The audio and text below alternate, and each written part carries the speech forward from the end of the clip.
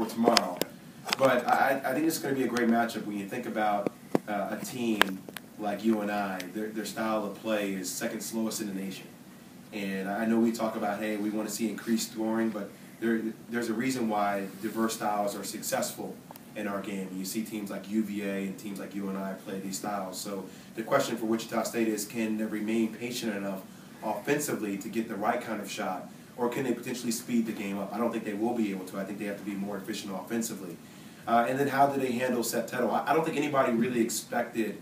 I know I didn't expect to see Wichita State get blown out at UNI the first time around.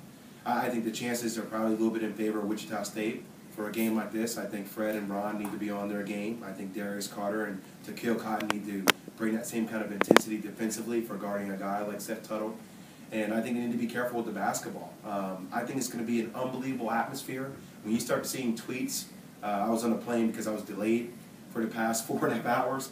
So I was, uh, you know, tweeting a ton of people, and you start seeing tweets about over 10,000 people uh, potentially being here tomorrow for game day. If, if they're going to be here for game day and be that rowdy, I can't imagine how this place is going to be when the actual game occurs.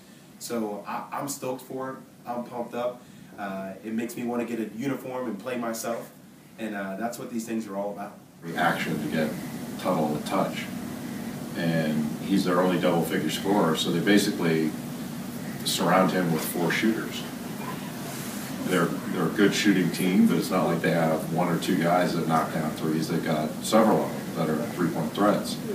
And Tuttle's such a good passer, a good decision maker, and every action that Jacobson runs has a specific counter to it. So if you cheat it, if you jump it, the counter is going to get you. And sometimes they have counters to the counter they runs. And Tuttle, every move that he makes has a counter. And not a lot of big guys have that. They have go-to moves, but they don't necessarily have a counter to them.